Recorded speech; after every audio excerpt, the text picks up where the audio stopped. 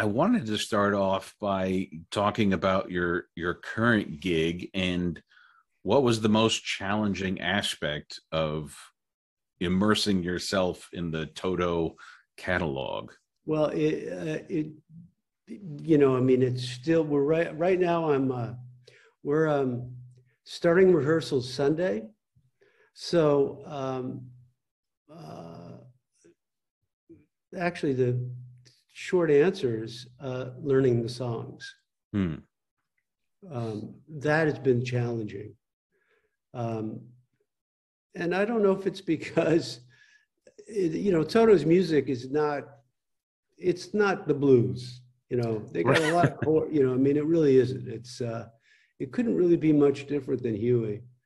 Um, so it's just, you know, it's a completely different thing. And it's just a matter of, yeah, learning the songs, remembering the songs. Mm-hmm. And, um, you know, I mean, it's a, it's um, the atmosphere, you know, it's just a whole different thing, but you're sort of expected with Toto, you're expected to uh, have your stuff together. No mess, no messing around at, at a Toto rehearsal. Oh, okay. uh, um, and that's thanks to our, our leader, Lukather. Yeah.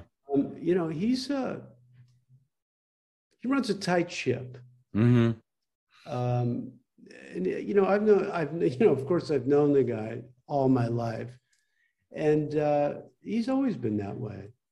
You know, he, will if if I like make a little mistake or something, he'll turn around. He'll he'll uh, he'll have heard it. No, yeah, he'll let me know that he knows. Oh, okay.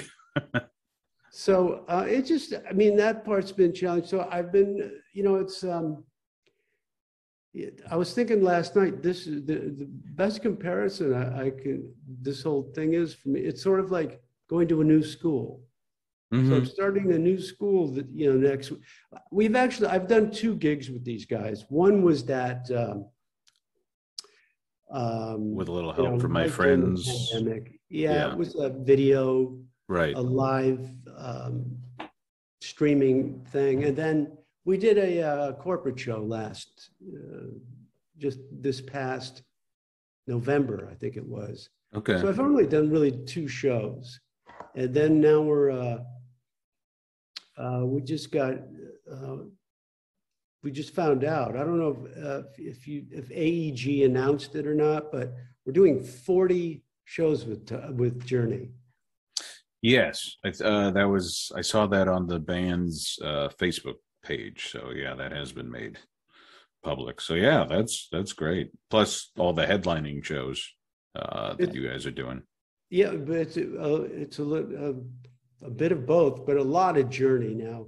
Unfortunately, I guess it's uh, what happened is Billy Idol had to pull out. I think he's uh, due to sickness or something. Mm-hmm. So opened the door for uh, many more uh, shows with Journey, and you know, I think it should uh, be a really good pairing. I would think if I'm a Journey fan, mm-hmm. I'd like a Toto appetizer. Yeah. Right. Yeah. Right. No, I think they the two bands mesh well. You know, sonically, so. sonically yeah. speaking.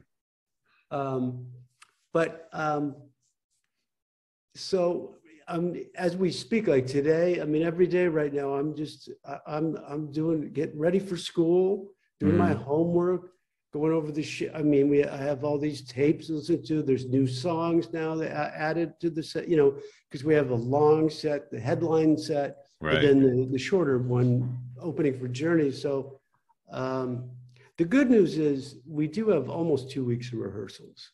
Oh, okay. Or uh, 10 days at least. Yeah. And, uh, I, I would hope that I'm ready at the end of that uh, attend rehearsals. Now, I mean, do they give you charts or uh, do they just tell you, hey, no, char- no charts. Um, it's just like the the toughest thing is is the you know the end the beginnings, the endings that are different than the record. So right. I'll some in some cases I'll study um, a live show. You know, uh, one of their they've got I think four thousand live CDs they put out. I mean, so I got to find, you know, I have to find the specific version we're using. Yeah, yeah, um, yeah, but no charts. No okay. Charts. I, I, you know, I can I write my own little notes, but I don't want to get too. The problem with that is I I can get very attached to, you know, you know, it's it's a mistake for me to do that. But, um, no, it's just the the, the good old uh, listen to it, learn it, yeah, and know it. Mm-hmm. And along those lines, you know, uh, as we've talked about in the past, you know, there is that special connection between the bass player and the drummer. And so, and, and I know you've only had a couple of shows, but uh, um, what is it like, you know, to uh, um, or what's the key to meshing with a new drummer? Um, the key to meshing with a new drummer, that's a very good question. Um, you know, I've done it so many times because, you know, in this, you know, of course, you know, all those years in the studio, every day is a different drummer. Right. Um, I think that when you, I don't think, I mean, at this level, when guys are as good as Sput is, for instance, um, meshing's not, it, he's just so good. It just, it, it happens pretty fast mm-hmm. in the sense that this guy's a skill, extremely skilled musician. So um, the, the key is, is, is listening, listening to where, um, the drummer, you know, what, what, what does he feel like? My job is really to, um, you know, I mean, do what it, what it takes to to get on his uh, clock. clock. Yeah, yeah. And uh, with Sput, it was a piece of cake. I mean, he's just he's so he's a he's a really an amazing drummer. Mm-hmm. Um, it'll be no problem. He'll, as long as he doesn't mind playing with me. All right. you know. Um, but so far so good. Yeah, we've gelled. I think. I mean, I think it sounds great. Mm-hmm. Um, in this case, with the type of these guys that, that I'm surrounded by, I feel like, you know, I'm I'm certainly in good hands. Let's put mm-hmm. it that way. And um, these guys make everyone else sound better. So um, it really does it it takes care of itself yeah. i would say. And it, it's it's fun it's different. I mean every with every band of course there's always going to be you know an adjustment and like and we're still at, it's such the infancy of this thing for me you know we're just right. starting out. Um, but let's see you know ask me in two months Okay. In the middle of this thing was, and I'm sure it'll, it's only going to get better. Yeah. But I mean, it also makes me think because um, one of the interviews I did with Huey, he talked about, you know, he kind of uh, really liked it when uh, you joined the band or, uh, um, say, Stef started doing the guitar duties. He says, because it is, it's, we're playing the same songs, but it brings a new feel and appreciation for these songs and and it made it all the more interesting for him he felt you know? It's like it it uh it's like kind of a recharge in a way or just oh i never looked at the song and, yeah you get like a different a take on it you know i mean uh, it, and you know it's a, if you've been with the same guys for years and years just you know sometimes it's good to just you know, mess it up a little bit or right. just change things, then um, you know you'll get uh, a different perspective, a different take on the songs. And Huey's, you know, he's always been really. Uh, what would be the word? Well, he, he's open to. He's a very, you know, accommodating cat. So look at you know. yeah. Um, yeah, and, that, he was a, he's he's easy. I don't think he'd even look at me during. At a, I'm not sure. Yeah, I wouldn't get the same uh, look from Huey as I would uh, from Steve Lukather. and you know, the, this is going to go a little bit on the deep side, but I'm just curious because sure. the bass is such an a dumb guy instrument. Yeah, it's an under the radar instrument in that you know the guitar you know just slices through everything. The drums just pound and stuff. And you know you, you, talk to professional musicians and they're they speak very passionately about the need for a really good bass line in a song but it doesn't stand out like the others do. And so i'm just wondering if you can express how does the bass this under the radar instrument influence a song or a performance well i, I think I, I, forget who said it the other day um, you know bass is one of those instruments where no one's really aware of it, but if you remove it, people will go, "What? What happened? Yeah, what was, you know, something just changed. Uh, uh, what the hell? You know, something. Some somebody left the room or something. you know, I mean, or the bottom fell out of it. it that's actually literally what would happen." Um, so I, I, don't think people are aware, you know, people aren't zoned in on a bass part when they listen to the radio. But they they feel it. Yeah, it's something that get, it's more felt than you know. Whereas a like you say, a lead guitar player goes out there, does a solo. It's you know it's front and center. Right. Bass right. is so much more subtle and in the background. Generally, you know, we don't we kind of stay in our little place. Mm-hmm. Um, and it, you know, I mean, and bass players generally they say the, the, the common bass player is more of a team player. Mm-hmm. You know, and that's what I think uh, a lot of bass players become producers. And because they're really always listening to everybody, you know, they have to.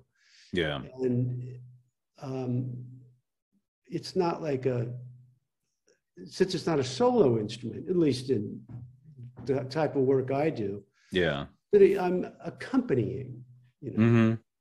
an accompanist. Yeah. Yeah. Yeah. And, um, but it's, um, yeah, that's the best description is that it's something that you don't really, you won't know until it's gone. Mm-hmm. Yeah. And you'll definitely notice it. And then, of course, there are you know, some songs, there's, you know, some songs have certainly more compelling or memorable bass parts than others. Mm-hmm. Um, you know, the Beatles are a great example. I mean, so many memorable parts and such a big part of those songs. Yeah. There's uh, other bands, you know, the bass is more functional, foundational, uh, supportive. Yeah. Um, but to me it's it's one of those elements that makes a song like three dimensional in the sense that you know because for a while it, it, um, I didn't have much of a, a stereo, but that's because life was normal and I was going to concerts and everything. Then COVID shuts everything down, and I'm tired of streamed, you know, two dimensional or even one dimensional sounds. So I started building up my stereo again and that's when I really heard, you know, specifically your parts, bass parts again, and and you know, again, it's it's what seemed to me to make the music more three dimensional. It's not changing the overall, you know, the the essence, but it's broadening. Well, what's interesting is that you know, I mean, uh, people, the way people listen to me, it's like we have the, you know, with this technology we have, it's crazy because like sound the sound has actually gone down the tubes. People are listening on their friggin' phones. Yeah. Right? You can't hear a bass on the phone. No. So it's like, don't play me that. So don't, I don't want to listen to it on that phone. I'm not going to hear it. Yeah. Because you could get, like you say, I mean, it's, that's, that's like flat as a pancake. I mean, it's just, you're good. You're just getting these upper frequencies. All you're going to hear is the vocals, guitar, and a hi hat and snare, you know, whatever. Right. No kick drum, no bass. You're missing out, like you say. I mean, you really are losing. It's it's if you're going from the sound of computer speakers, phone speakers to even a halfway decent stereo, it it should be, you know, I mean, I mean, enlightening. Yeah. What what you're missing. Mm-hmm. So good for you. getting a new, getting your stereo together makes music. I mean, it makes it more enjoyable to listen to music, right? Yeah. Well, I mean, I think if it's you know done right, it should be like a concert in that you feel surrounded by it. You know, you're just swimming in it. You know. Yeah. No. And if you really want to get it going, I mean, I mean, great pair of headphones. Yes. That's just you know, there's that's literally you know, uh, I mean, that's that's a good way to go. It's not. It's the. I mean, you don't get to share in the experience. Right. But I mean, it's a solo deal with you got headphones and. But um, it's a great way. Like as I'm learning these, if I really want to listen carefully to like some something I'm learning, I'll put on the headphones. Yeah. Because then I can get really inside the mm-hmm. track. Right. Right. Um, and then switching gears slightly, you know, you're you're such a low key guy, but you've constantly been working, constantly been been uh, you know in the studio, on the road, etc. And there's so much out there that tells you, oh, if you want to, you know, have a career, you've got to be big, you've got to be this massive self promoter, and all this kind of stuff. And uh, you know, so for for for for those of us introverted geeks out there who who find comfort in the fact that a guy has been successful not being bombastic and over the top. You don't even need hair. No. Yeah. Which is why i've been getting rid of mine over over time. Yeah i uh i think that'll help well, me well, um, normal. I wish i hadn't lost my hair when i was 18 well you probably didn't get carded though. Uh, that, that, yeah, that's true too. Well, so I was curious, what advice do you have for other musicians who are low key, who don't want to be uh, uh, in your face promoters, uh, but also want to stay busy and stay in demand? Well, I don't. I mean, it depends on your instrument. I think. Um, I don't. Maybe not even so much. I, mean, I knew that would happen. uh, Quinn, um, uh, let, us see, what would be my advice? Uh, you know, there's, you don't have, I mean, it's just, a, it's like be yourself and uh, you're the, if you have enough passion about the music, if you're, you know, if you're, if that's what you love to do, I mean, I think that that'll take you much further than any kind of, uh, you know you don't you don't need to be loud you don't need to just um, do your talking with your playing hmm. i think would be my advice. I mean speak or speak softly and carry a, a large bass. No. Yeah.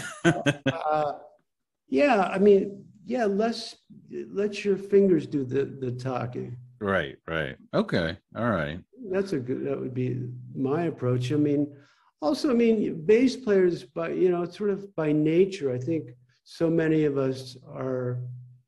You'd find similarities um, if you talk to Leland Sklar or somebody like that. Um, you know, these uh, mellow people, but you know, he's um, Leland would be a great guy to interview, by the way. Yeah, no, I'd I'd love to. Uh, but yeah, I don't. I, I think if you just if just being yourself is it's always a that's the good solution. I mean, a good that's good advice for, for nearly anything. Mm-hmm.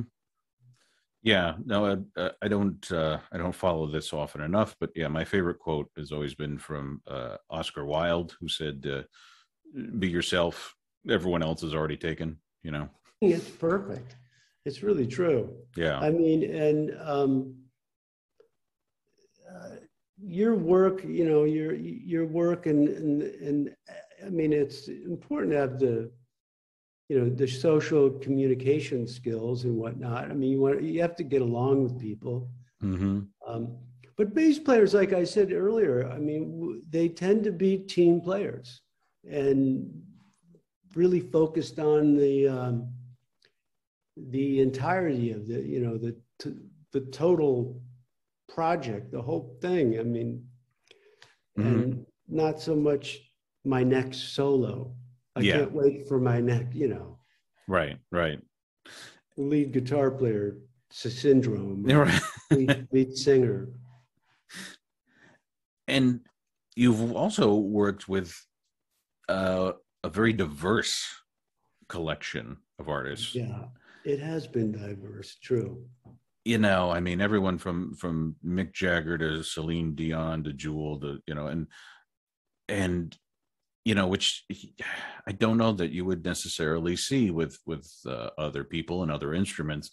What's you know what's what's your key to being so adaptable to different styles? Um, repetition, training, uh, listening, um, and you know, it, and just actually doing it. I mean, sometimes like you, will just go into the, like uh, you go into the studio and you almost have no choice but to just somehow you find a way, mm-hmm. even if it, even if it's not something that you feel necessarily that comfortable with. Maybe it's a style of music or something that's not your bag or but but to you know always have the, an open mind mm. about things and and never and never think of yourself as um, um, you know don't categorize yourself like or I, am a, a, a rock bass player or I'm a yeah. jazz bass player at least for me, I mean, I've I've always been if you, I mean, if you're interested in doing studio work or eh, you know playing on a variety of stuff, you, you really need to have all these you know tools, and you only do it, you only get them from doing it mm-hmm. and learning it. Um, you know, I mean, going to music school didn't hurt, that's for sure. Yeah.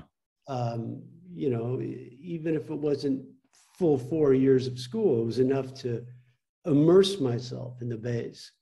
And uh, I think, uh, you know, that certainly helps a yeah. lot. So, okay. Was was there is there one that stands out in your mind where well, I went, went, to I went to Berklee in Boston, uh, and uh, it's still a great school. It's just only getting bigger all the time. Yeah. Um, but was but, there a was there a gig or a session that stands out in your mind where you think, you know, I'm not sure if I'm a fit for this, but I'm going to go, and it no, ended up like this is great. What what I remember the, the what I you know the the the the when I went to Berklee, the how do I explain it? Like in the actual dormitory where we all like you know where the first especially first year students lived at the bottom of the uh, in the like under the lobby the basement of the building were what they called ensemble rooms mm-hmm. and you had like say like 10 rooms and each one is full there's like a jam session going on in each room mm. and like like look like so many things in life it was very clicky you know there was the like the good guy jams and then the you know the not so talented ones, and then the the competition at, at, at Berklee. Like there, I think there were at the time maybe 200 bass players or something like that. Mm-hmm. 600. So it was it was very competitive, and there's only and you want to get in like there's only two or three cool jams, you know, with the and and it was that competition made it uh, it was scary but man did it pay off for me. Because it really when i started working in la it was almost like well there's only seven bass you know, you know seven or eight bass players that, that you know yeah. that I'm, sorry about that no it's okay it's not the first time yeah i bet hey quinn knock it off, pal. Um, yeah, so just the, the, the competition was what really was part of the education. Okay. And uh, it's never been. I it was that was as tough as it's ever been for me. Yeah. And I had some teachers and, and some experiences that scared the hell out of me. Like I remember um, I got in the uh, big band, which is, was a big deal at Berklee. So, you know, you, and I've never played, first of all, I'm not, not really a jazz musician. I'm just learning it. Mm-hmm. So I get sort of thrust into this deal. And at the end of the first day, the, the, you know, the leader, the conductor comes to me and goes, uh, John, your time is out to lunch. No. And I went, Ooh, really? Uh, and then I forget what he, what he, precisely what he uh, suggested, but he gave me, he said, listen to blah, blah, blah, this and that. Mm-hmm. And if you don't have it together, you can't be in this band. Mm-hmm. so it was like, I was horrified. I was like devastated. And I just listened. And then the next time I showed up, I had miraculously better time. Mm. so, you know, like little things like that, moments where, you know, the wake up call, you know. Yeah, yeah. You got a ways to go, pal. You got stuff to learn. Those things really helped me. Mm-hmm. Those little butt kicks, right? Yeah, yeah. And then uh, last time we talked, you, you mentioned how you at the time you were trying to write a song pretty much every day and i'm wondering are you still keeping up with that first off um, n- not as much only because I, i'm learning these new songs but i still will always yeah throw some time um, there's an hour of, of every day where i do something that's just for me just me writing my own silly little songs mm-hmm. and what's what's usually the jumping off point for an idea? Is it a, a bass line? Is it a, a, lyric? Is it?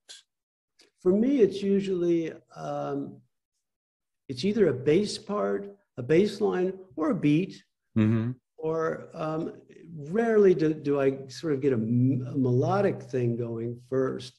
It's generally a you know being a rhythm section guy. It's a groove. Mm-hmm. So it's a groove. It's a vibe you know, oh, this sort of sounds like uh, whatever.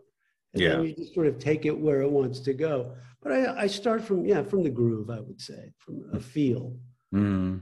as opposed to a melody. And I'm wondering, has, has all of that songwriting work uh, influenced your bass playing in any way?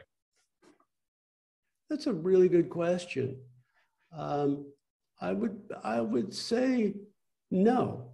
Okay. Probably not. It's probably sort of a separate entity almost. That you know, I mean, my my compositional uh, work and then my I still I I almost look at it still as more of like a hobby almost. yeah. Or with bass, that's how I make a living. But on the side, I like to, I have this little music hobby. Yeah. Uh, but, you know, I mean, and occasionally I've gotten lucky with the hobby. And, uh, but I'll never know. I mean, has it, in, it I think that it's, uh, you know, you, you, say, has it influenced? I think they're all also very connected. You mm-hmm. know, the way I play bass, the way I write music, um, there's there must be similarities to it. Yeah, yeah. In some in some way, it would be very hard for me to describe what they are, but because it's such an inanimate thing, you know. Right, right. Yeah. And you know, if it if it didn't, it didn't. But sometimes I don't know, just that's a good question. Though. Throwing your mind into a different area, it's like, oh, well, this this kind of changes how I think about this. It does. It does. I mean, it's uh What's actually really interesting is was when I write a song, um, you know, my approach to the bass. Hmm. I don't really spend too much time with it, oddly enough. It's like, oh yeah, the bass. I'll just throw that. I mean, you know. because for me, it's true. That's the easy part. Right, right, right.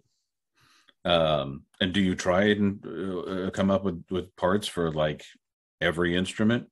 I do. Well, I do, and uh, and that's a good. The other thing is like, um, over the years, I tend to.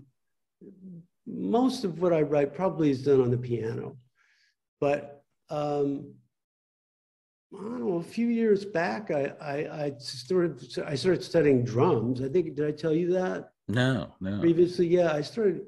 I don't know, year, about five years ago. Okay. Started taking drum lessons, uh, like bebop, like real jazz, and um, that's had an influence more on my bass playing than yeah. anything. Um, but that too. So I mean, I've started songs, you know, from drums, and then if I, um, I'm not a very good guitar player, mm-hmm. and I use that to sort of like if I want to write, like if I want to dumb something down or start do or write something, maybe that's might be more accessible. I will write on guitar because my limitations are sort of uh, they sort of help me in a way. Um, hmm. it's, hard, it's hard to, to, but my I think my in the future, where I would hope that some of some of the stuff I've been writing recently has come from the guitar, and that opens up a whole other kind of style for me. Certainly more of a rock thing, you know. Right. Um, the um, yeah, I use my inability to sort of like, because with the bass, sometimes maybe I can get a little too muso.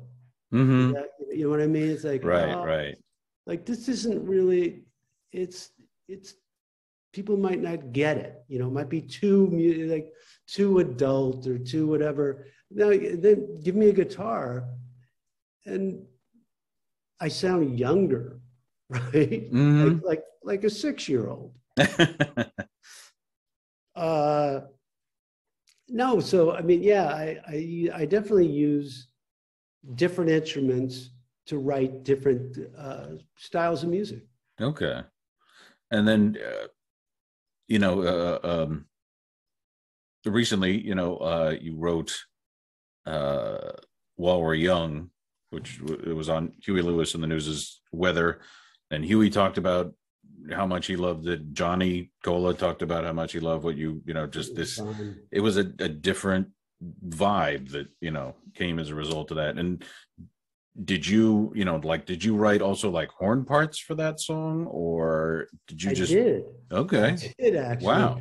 But but um, Johnny certainly um, fixed what was not legit shall we say? I mean, yeah, I mean the the horn parts, the horn, the, the, the horn thing was definitely part of what you created the whole thing. I mean, when yeah. I started writing it, I think the horns came on really pretty early on. Yeah, because they're like they're fairly prominent in that tune. Oh yeah, yeah, yeah. I mean, it's like I think it's uh, yeah. I mean, it's a it's definitely um, part of the, you know, the, uh, what's the word? It's a very common word and I'm, I'm not thinking of it. Hook. It's a yeah. hook. Mm-hmm. It's a, yeah, it's a, I think it's an important hook part of the song. And, and, and yeah, again, Johnny did, uh, fix what ailed, what was wrong about it. I'm not a horn player. And we, you know, we just play these things on a keyboard. Right. And then you don't always realize that no, no, no, a horn player can't do that or whatever. Yeah, right.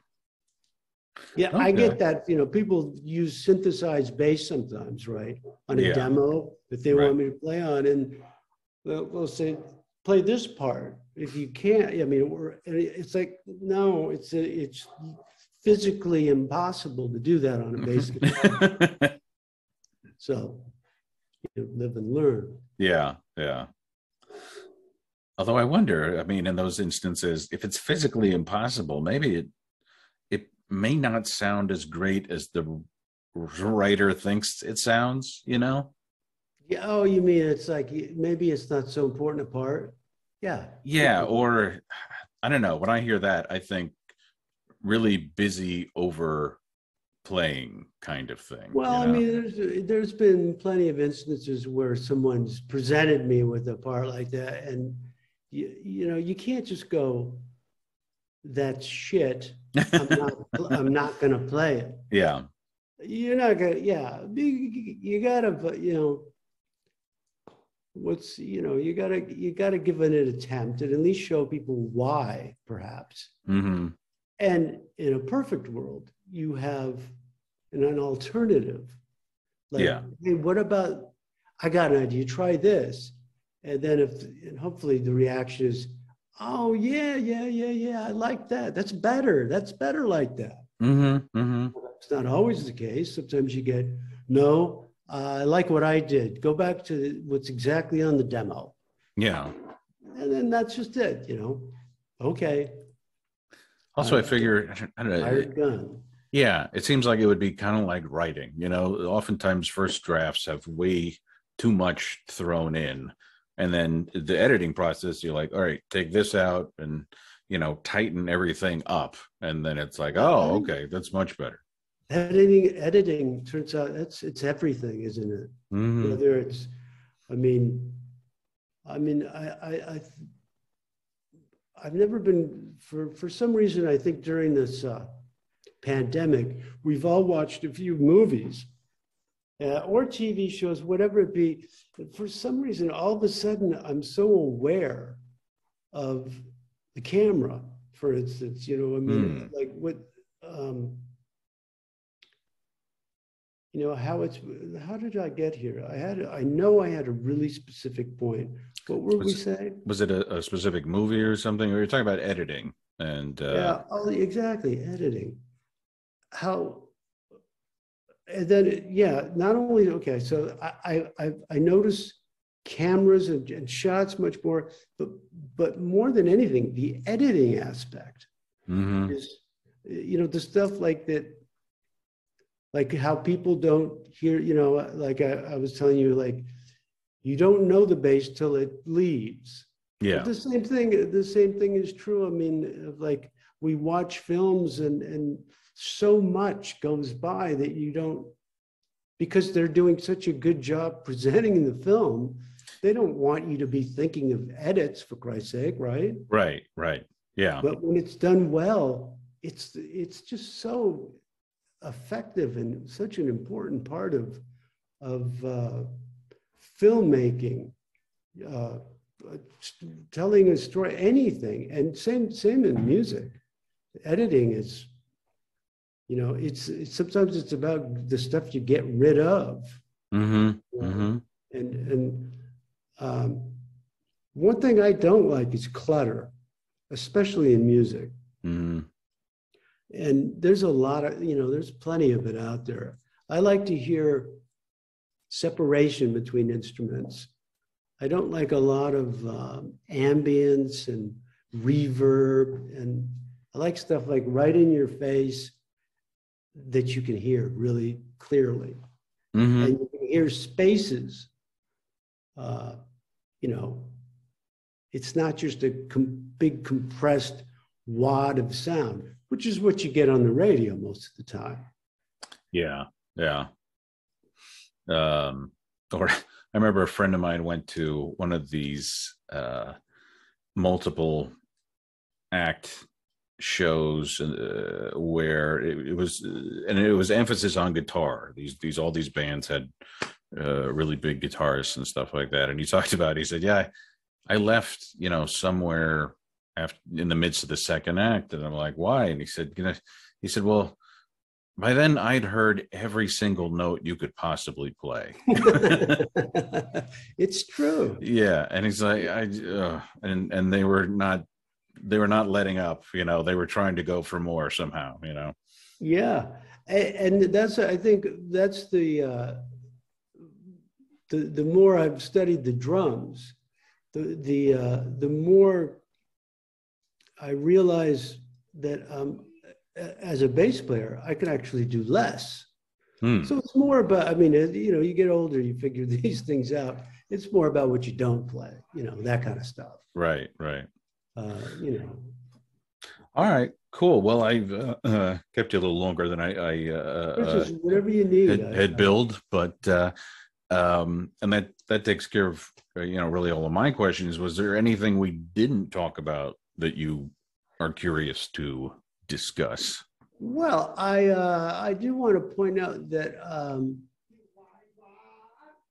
I I hope to within the next you know get some time within the next year. Um, I, I I plan on going down to darn it, I'm going down to Palma Valley with my little buddy Huey, and we're going to write some music. Okay. There's no reason we can't do that. Yeah.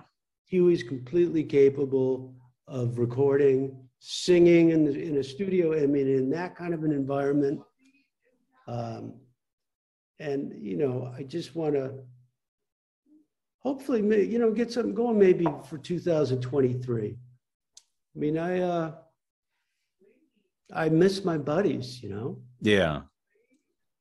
Ah, that's, uh, that's the only thing I could point, I, I, I could say. I mean, you realize it's been uh, four years now Yeah. since that faithful, you know, time. But um, I don't know. Have you spoken with Huey recently? Uh, yeah. Uh, I guess it was about two weeks ago. He's Uh, better, I think. I mean, I don't know what he told you. He's he was in the midst of a good stretch, he said, but Yeah. um, you know, he he talked about his his uh, hesitancy, if only because there were times he thought, okay, I've reached this level, and then they call rehearsal, and then it goes to shit. yeah, yeah, yeah, of course, he's concerned about that happening. You know, uh, you know, but I, you know, I mean, I know he wants to play. Darn it. yeah, I, um, but he's got a tough thing. He's got a, a tough disease right now, so he's got to deal with that. And um, I'm just glad that he's feeling a little better. And but I've got, I do, I've got like five or six things that that I've been working on that I, I know Huey can help me with.